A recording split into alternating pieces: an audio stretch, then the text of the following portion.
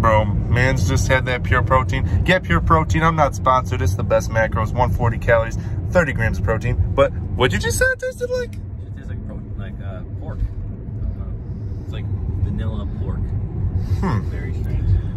Still good though. Interesting. So, as you find out today, imagine a protein shake being filled with so much protein that it feel, that it tastes like pork.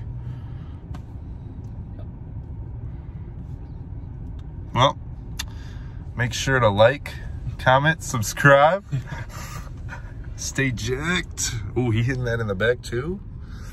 And uh yeah, bye.